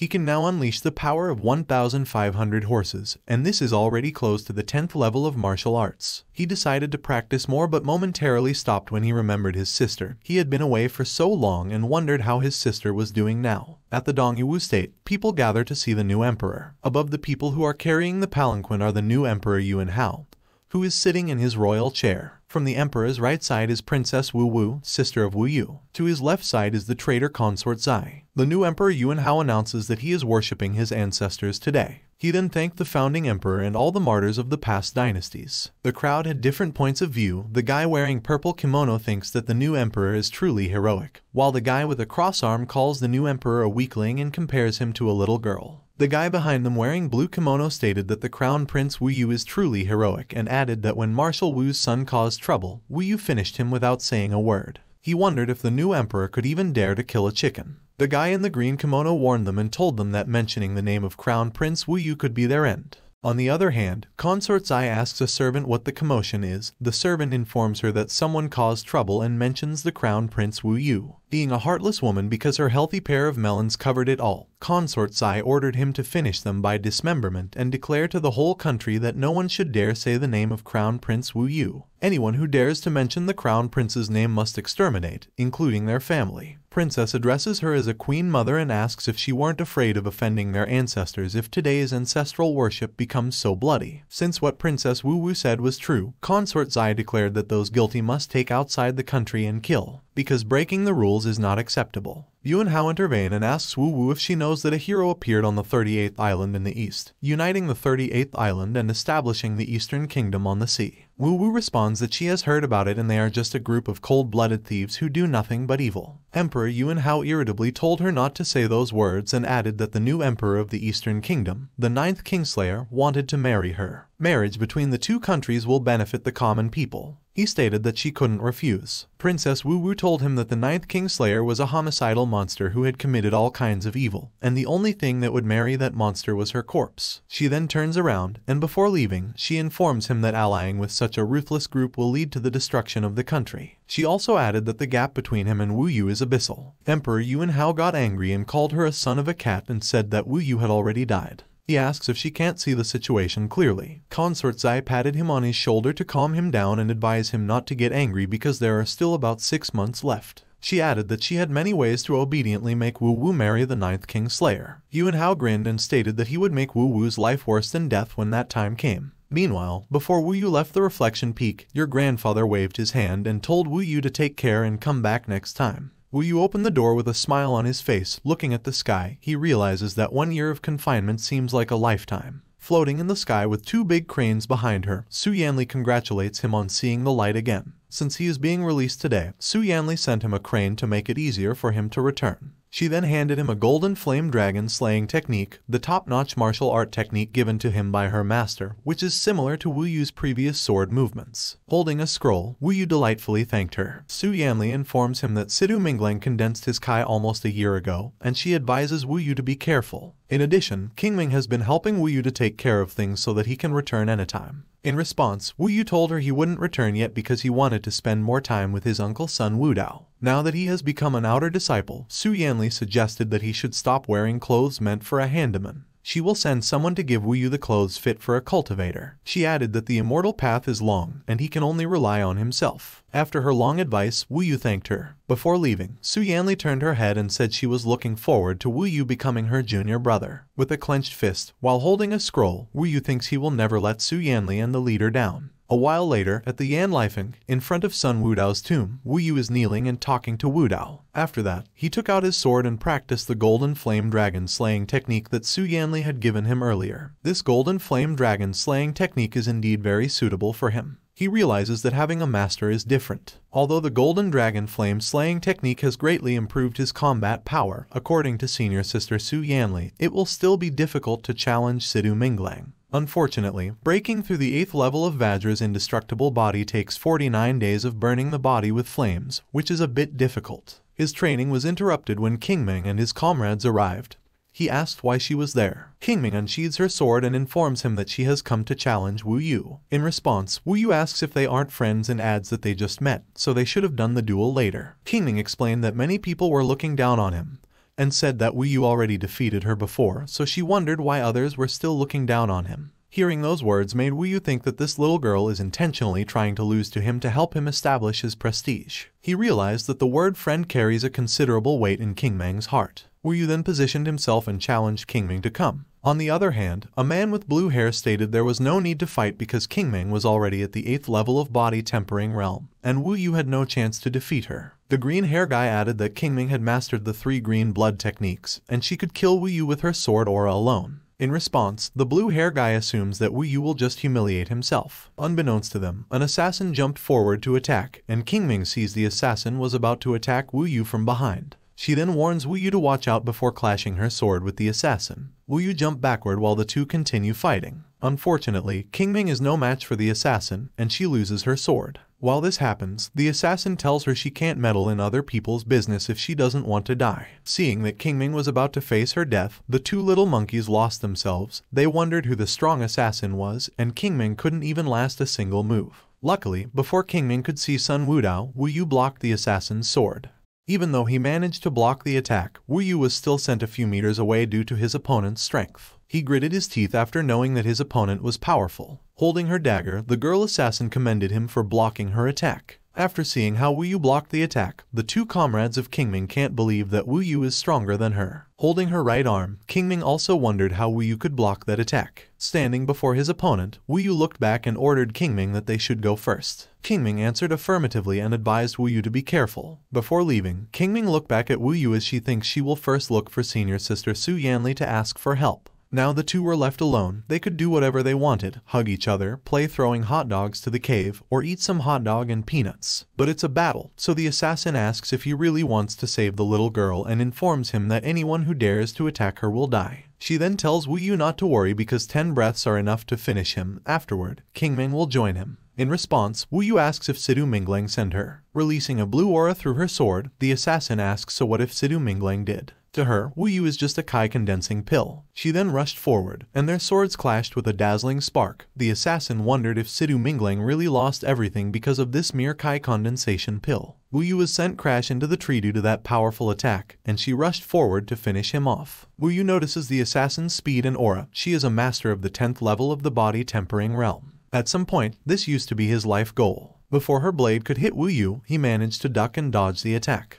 The assassin makes another blow, and Wu Yu jumps to dodge. She makes another slash, but Wu Yu blocks it while in the air. The assassin jumps forward, and as she does so, she informs Wu Yu that there are still three more breaths left to finish him. Floating in the sky while waiting for his opponent, Wu Yu realizes that the assassin overestimates herself, so it's time for him to fight back. He makes a hand technique to use his Monkey King mental visualization and follows up with the Golden Flame Dragon slaying technique. The assassin clenched her teeth in disbelief, Wu Yu swung his sword and managed to hit his opponent, and as a result, she lost her dagger and was thrown back to the ground. As she bumps to the ground, Wu Yu follow her to make a final blow, but before he does so, the girl begs him to spare her life. Wu Yu stopped and thought that this person's cultivation was so high, and she must also be a disciple of the sect. Knowing that he just came out of confinement, Wu Yu didn't finish her. He then stood and told her to get lost. He wanted Sidu Minglang to come by himself next time. In a flirting voice, the girl asks if he doesn't know how to show pity and tender love for women and how he can be so ruthless. Wu Yu looked at her with dagger eyes and told her to get out. As Wu Yu walks away, the assassin picks something inside her shorts. She asks why he is so fierce and then throws a paper talisman. Wu Yu notice it, but it's too late for him to avoid it. A massive fire surrounds his whole body and he screams in pain. The girl moved her hair, laughed, and told Wu Yu that he couldn't even recognize the golden talisman.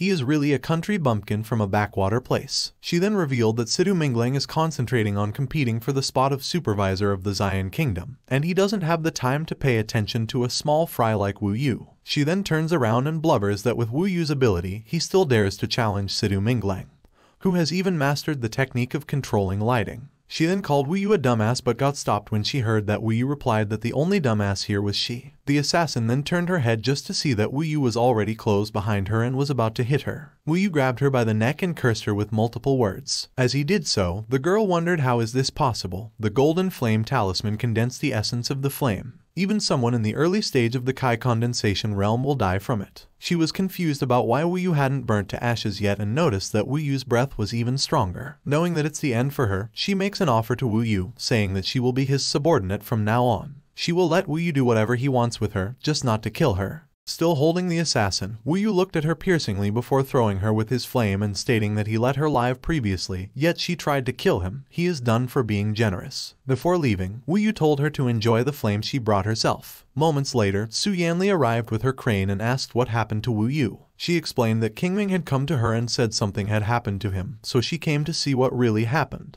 She then asks if he is alright before thinking that Wu Yu's aura has become stronger again, but it feels a little chaotic. Wu Yu politely told her not to worry and elaborated that it was a good thing he was hit with the golden flame talisman, and that if it were a different attribute, he would surely die. He added that the misfortune he faced allowed him to break through a small realm, but not yet stable. Wu Yu asks if Su Yanli knows what's going on with the supervisor of the Zion Kingdom. Su Yanli explained that even if the supervisor immortal leaves the sect to take charge of the mortal Zion Kingdom, mortals will call them immortal. The Zion Kingdom has a vast land with abundant resources, and mortals don't know about spiritual objects. The Zion Kingdom supervisor can reap many benefits, so they are very lucrative jobs. In addition, the strict rules of the sect make it almost the only opportunity to leave the sect. Hearing this makes Wu Yu think that it was the bastard Hayashin. Wu Yu asks if the Eastern Yu Wu Kingdom is also within the scope of the supervision of the Immortal Kingdom. Su Yanli answered affirmatively and added that the current supervisor of the Immortal Kingdom in the Wu Kingdom is Hayashin. He is a disciple in the Kai condensation realm of the Zhongyuan Taoist sect. In the next decade, the Tongshan Sword sect will take over. The sect will send a new Immortal Kingdom supervisor to take over from Hayashin. Now that Wu Yu knows that Hayashin is about to return to the sect, he sees this as an opportunity to finish him. He then asks Su Yanli if he can become the supervisor of the Immortal Kingdom in the Eastern Yu Wu Kingdom. In response, Su Yanli said it was impossible. According to the rules, only core disciples who have condensed their Kai can participate in the competition to become the Immortal Kingdom supervisor. Because this matter is very important to Wu Yu, he wondered if there was no alternative way. Su Yanli told him that she would ask the master. However, there are two things that she needs to explain to Wu Yu. Firstly, Sidu Minglang will also compete, and if Wu Yu participates, Sidu Minglang will definitely use his connections to fight against Wu Yu. The second thing is that Sidu Minglang has already mastered Taoism. With Wu Yu's current strength, he is no match for Sidu Minglang. If Wu Yu can't become stronger before the competition, he will definitely die. She then revealed that only seven days remained before the competition started. She asks if Wu Yu really wants to participate. Wu Yu gritted his teeth as he thought only seven days were left. Still, he had already planned how he would finish Hayashin before returning to the Zhongyuan Taoist sect, so he asked Su Yanli to arrange the matter because he would participate. Su Yanli approved his request and told him she would send Wu Yu to the Immortal War Palace to participate in the battle to become the Immortal Kingdom's supervisor. She will handle the situation so that Wu Yu can cultivate in peace. With a bump fist and palm, Wu Yu bow his head before thanking his senior sister. Looking at the departing Su Yanli, Wu Yu thinks of the training he should do. He just broke through the 8th level of the Vajra indestructible body, the Bright Stone Spirit Child, so he needs to stabilize his breakthrough. As for the 9th level transformation of the Immortal Ape, it requires the blood of the Immortal Ape to act as a guide to successfully cultivate. He felt that it was really a bit troublesome. The next day at the Duabao Valley, as wandering in the market, he realized that there were really a lot of things in the place, including top-notch martial art techniques, Taoism, magic treasures, immortal elixirs, and pills. Unfortunately, he couldn't find what he needed. He then decided to check one last time, and he would leave if there were still nothing of note. When he turned his head, something caught his attention. He felt that one of the items was calling him.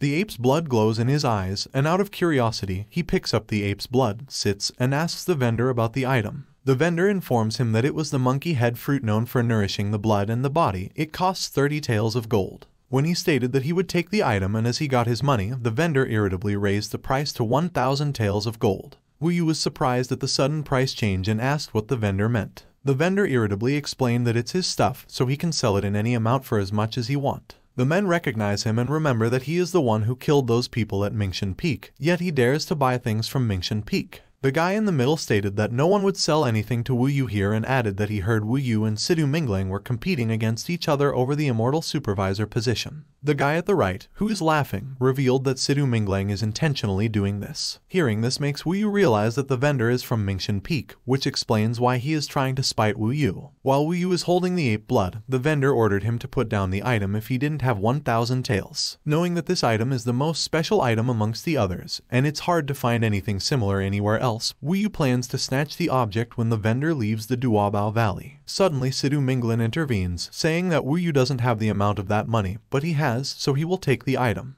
The vendor picks up the item and offers it to Sidu Minglang. Since senior brother Minglang likes it, he will give it to him as a gift. He then asked if there was anything Sidu Minglang needed. Holding the ape blood, Sidu Minglang confronted Wu Yu and informed him that his people saw Wu Yu wandering around at the market, so he bought this thing that looked very important to Wu Yu. Irritated, Wu Yu asks what he wants. Sidu Minglang smirks, since Wu Yu like ape blood, he will give it to him. He looks at Wu Yu with a mocking eye, crashes the ape's blood, and drops it to the ground before ordering Wu Yu to take the item and not to mind him. He then put his feet on the item and squeezed it. On the other hand, Wu Yu just looked at it while calming himself. The three men know that Sidu Minglang is just humiliating Wu Yu and waiting to take action, and if Wu Yu dares to take action, Sidu Minglang would have a reason to kill him. With serious eyes, while holding his anger, Wu Yu realized that senior sister Su Yanli was right. Judging from Sidu Minglang's aura, he was no match for him right now. Knowing that the ape blood was very important, Wu Yu swallowed his pride and tried to pick it up. As he did so, the three mutant ninja turtles made fun of the scene. It was their first time seeing such a coward and shameless. After picking up the item, Wu Yu stood up and put it inside his clothes. He thanked brother Sidu Minglang for being so generous. However, children are children, they always like to be impulsive, and giving the item to Wu Yu will cause Minglang's defeat, and he will regret it. He then started to walk. Upon getting closer to Minglang, Wu Yu warned him not to cry when the time had come. As Wu Yu leave, Sidu Minglang is confused about what Wu Yu says. He knows that Wu Yu can't defeat him alone, so how could he say such a thing? Is he a son of a cat? Looking at Wu Yu with a clenched fist, Sidu Minglang calms himself. His master once said that his true future opponent would be Dingsheng Shenzu's genius. Useless banter with an ant will only kill his motivation. The sun goes down, the stars come out, and all that counts is here and now. My universe will never be the same. I'm glad you came. Hey, Henry, you son of a cat. Are you singing right now? Sorry, sir. Reading the script made me remember the song Glad You Came. That song by The Wanted. Okay, fine. I like that song too. Stop singing and get back to your narration. Thank you, sir. Okay, guys, let's get back to our story. The sun goes down, but no stars come up. At Wu Yu's place, a handyman knocks on his door before entering. He informs Wu Yu that Senior Su Yanli has sent him new clothes. In response, Wu Yu tells him to put them on the table. He then continued what he was doing. As he refined the ape blood, which was thought to be missing with no hope of being found in the Azure Waves Mountains, he couldn't believe that Sidu Minglang would personally give it to him. After refining the ape blood, Wu Yu was delighted at the result. He will use this drop of blood to complete the immortal ape transformation. He puts his hand before his face and wonders what expression Sidu Minglang will have when he finds out that he personally assisted Wu Yu in cultivating the immortal ape transformation. The day for the competition has come. At the Immortal War Palace, people gathered inside the big coliseum to witness the event. The Supreme Protector Lan Huiyan is sitting on a metal chair with many sharp blades. On her left is Elder Muji, and to her right is one of the examiners from the Road to Immortality. The audience wonders why the Supreme Protector takes charge of the Immortal Kingdom competition instead of Elder Muji. Another answer is that Sidu Minglang is her apprentice, and she treats him well. Elder Muji announces that there are 12 contestants, each pair will form a group, and the winner will obtain the status of Immortal Kingdom Supervisor. He then calls the name of the first group, Changsing versus Hetung. With a crossed arm, Sidu Minglang noticed that Wu Yu didn't come. His subordinate told him that he knew Wu Yu wouldn't come because he was just trying to make sure that Sidu Minglang wouldn't finish him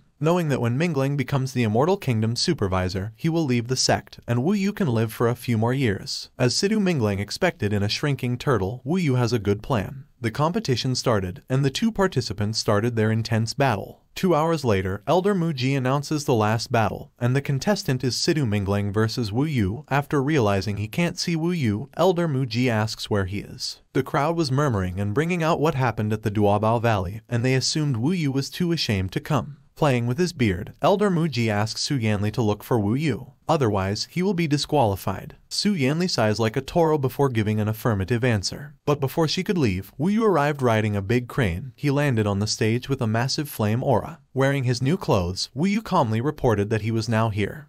The crowd was surprised by Wu Yu's arrival. They wondered if he was looking for death, and they thought Wu Yu was too arrogant to believe he could defeat Sidu Minglang. With a sweet smile, Su Yanli felt the change in Wu Yu's aura. Behind her, one of the examiners from the new disciple competition.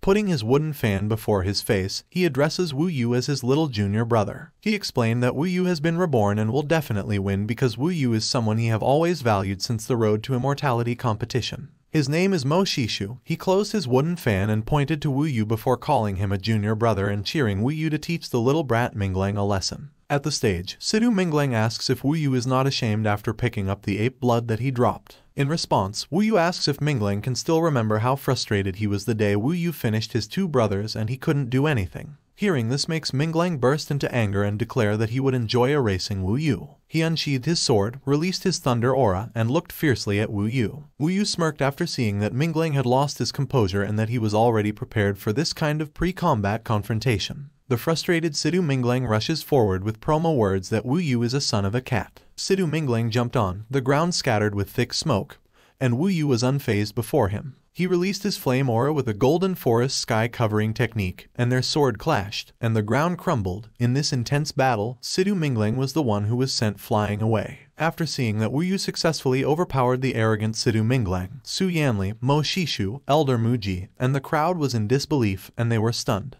The Supreme Protector was also in awe. She realized why Feng Sui cared so much for Wu Yu. Just by relying on the strength of the body tempering realm, Minglang was blown away. Back to the stage, Sidu Minglang pierced his sword to the floor and wondered what was happening. He clenched his teeth, raised his sword, and shouted the boundless heaven's might and superior immortal, divine thunder sword technique. Oh my, what kind of technique do we have here? Before you could finish shouting this technique, I think you were already sleeping if Saitama is your opponent. Anyway, the cloud turned into darkness and a thunderbolt started to emerge from it. Sidu Minglang smirked. The thunderbolt turned purple and again before he threw this attack at Wu Yu, he called it a powerful thunderbolt, a corrosive attribute, and boom, it hit Wu Yu, but he managed to jump back to avoid the attack. Still, it was fast as lightning, so even though he jumped, Wu Yu was still hit by this thunderbolt and was roasted like a chicken. The body of Wu Yu was covered with dark smoke, so Sidu Minglang assumed that Wu Yu couldn't withstand that strike. Slowly emerging from the thick smoke, Wu Yu gritted his teeth. On the other hand, Minglang declared that the game was over. Wu Yu rushed forward, and as he did so, he was aware that this kind of injury was nothing for his indestructible Vajra's body. Sidu Minglang was surprised after seeing Wu Yu still alive, and he planned to make blow Wu Yu up.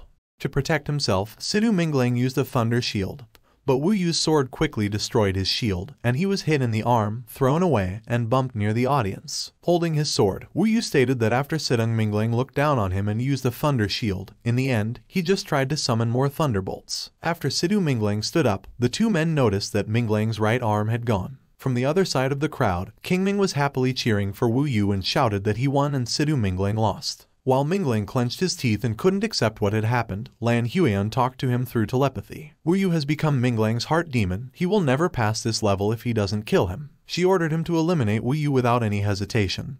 and she will take care of the rest. Before Elder Muji announced the winner, Sidu Minglang interrupted him and said he hadn't lost yet. He raised his sword and struck it to his body. Veins emerged from his face, and in an instant, he turned into a demon, and he called it a thunder demon possession. People felt the terrible aura from Minglang, and the girl beside King Ming stated that this technique was forbidden. She thought Wu Yu would surely die. Knowing that the leader was not present, the decision was not up to the Supreme Protector. Su Yanli confronted the Supreme Protector and asked why Sidu Minglang used the forbidden technique. Mo Shishu shouted at Minglang and informed him that he had violated the sect rules and was no longer qualified to participate in the competition. He then asked Sidu Minglang to leave. Seeing this makes Wu Yu think that he just met Mo Shishu twice, yet he is willing to help him this much and seems like an ally. Unfortunately, Lan Huan will definitely not allow them to stop Sidu Minglang. As Wu Yu expected, Lan Huan raised his hand and trapped the two. Now that she couldn't help Wu Yu, Su Yanli shouted at him to be careful. Sidu Minglang started to attack, using a thunder demon that destroyed the world and trapped Wu Yu inside a circle. Seeing this makes King Ming worried for the safety of Wu Yu, while others think it's the end for Wu Yu. Even Sidu Minglang method is a bit awry. It's all about winners and losers, and no one cares about anything else. When Minglang was about to finish Wu Yu, Wu Yu reminded him that he would regret giving the monkey head. A huge aura in monkey form can be seen behind Wu Yu, and he is transforming like a Super Saiyan. The trap Sidu Minglang made was engulfed by the massive yellow aura from Wu Yu. It burst and pierced the sky. When the enormous aura disappeared, Wu Yu was transformed into Sailor Moon. What I mean is Wukong, the Monkey King. But in this manhwa, he is the Great Sage. After seeing Wu Yu's transformation, they were all surprised and shocked. The girl beside King Ming wondered if it was a Taoism technique, but she knew Wu Yu hadn't condensed his Kai yet. On the other hand, Lan Huan knew this was not from a Dao or some taboo technique, it was from a transformation in the blood vessels. She wonders what's going on with Wu Yu. At the stage, Wu Yu realizes that this immortal ape is really wild, giving him an irresistible urge to roar. Sidu Minglang rushes forward and addresses Wu Yu as a beast. He will kill him and feed to the dogs. With a flame dragon surrounding him, Wu Yu shouted like a warrior before clashing with Sidu Minglang. A massive wave of impact occurred when their weapons collided. Both of them used their strength and held their sword tightly. But then again, Sidu Minglang has swayed away, and Wu Yu overpowered him. Wu Yu follow him into the air to finish him off. The crowd was in disbelief after they saw Sidu Minglang's body slowly vanishing, and Wu Yu just stood like an action star surrounded by a flame dragon while holding his sword. Mo Shishu wondered if he was blind or something. While beside him, Su Yanli asked for a jumbo hot dog to throw to her mouth. I mean, her mouth widened in shock after learning that Wu Yu had such a method. Frustrated, Lan Huan called Wu Yu a beast and asked how dare he kill her disciple. At the stage, Wu Yu sighs in relief after defeating Sidu Minglang. However, he is aware that Lan Huan will not let go of this matter. The Supreme Protector floats in the sky and asks why a mere ant dares to provoke her. She will make Wu Yu understand the consequences. Wu Yu felt the heavy aura from Lan Huan, and it managed to kneel him down. He asked himself if this was the strength of a golden core immortal, there was a profound difference compared to him. The Supreme Protector summons eight blades and throws them at him. Wu Yu can't do anything but wonder if he is going to die like this. The guy in green felt pity for a genius like Wu Yu to fall like this. The guy in brown blubber that Wu Yu should know what he was messing with before provoking the Supreme Protector. King Ming can't help but shout stop. Holding an imaginary jumbo hot dog, Su Yanli thinks it's all over. Before multiple blades could hit Wu Yu, a divine sword was thrown near him, creating a yellow shield to protect him. Seeing a huge sword before him, Wu Yu paused for a moment. Floating in the air, Master Feng Shuya declared that Wu Yu would be his fifth disciple of Feng Shu Cliff from now on. Not trapped anymore, Su Yanli was happy for Wu Yu because he was now an apprentice of her master. With a sweet smile, bump fist and palm, Wu Yu pays his respect to his master. On the other hand, the Supreme Protector just walked out as if nothing had happened. Mo Shishu laughed a little before saying that Wu Yu hid his ability very well, and today, he makes the old Feng proud. He then congratulates him on becoming the Immortal Kingdom supervisor. Su Yanli was very delightful now that Wu Yu was officially her junior brother. In response, Wu Yu thanked the two seniors for their kindness. Wu Yu is so happy. Finally, he has become the supervisor of the Immortal Kingdom and can now return to the state of Wu. The girl in black and the guy in green were amazed that Wu Yu won the competition, while one of their comrades who had orange hair was irritated and told them not to envy Wu Yu and that they should go. Master Feng Shui asks the reason why Wu Yu is competing for the Immortal Kingdom supervisor position. Wu Yu revealed that he originally came from the Yu Wu Kingdom and was the true crown prince of the Wu Kingdom. Playing with his beard, Master Feng Shuya informs Wu Yu that although the Wu Kingdom of Eastern Yu is located in a remote area, their Tongtian sword sect has always looked down on it and has never sent a supervisor. However, that Hayashin fellow has been entrenched there for decades. Master Feng Shuya thinks it will not be easy to deal with Hayashin. He then raised his hand and summoned a bunch of different swords. He told Wu Yu that he would give Wu Yu a magic weapon that would give him more security when dealing with Hayashin he suggested that Wu Yu pick two types of magical weapons, gold and fire long swords. Seeing this different kind of mighty sword, Wu Yu was astonished.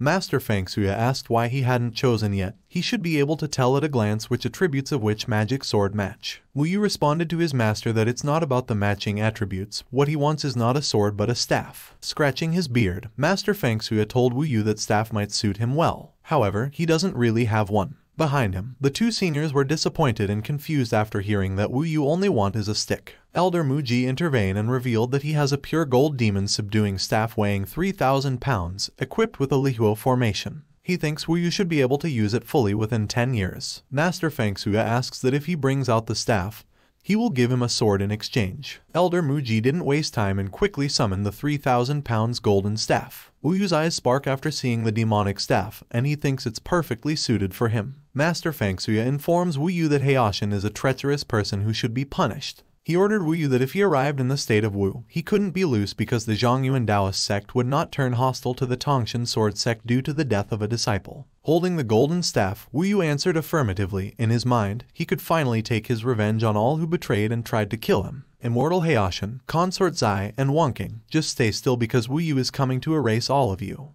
Thank you for watching guys. I hope you won't crave a jumbo hot dog and don't transform into a Sailor Moon. Please continue supporting my channel. By the way, the manhwa ends in chapter 16.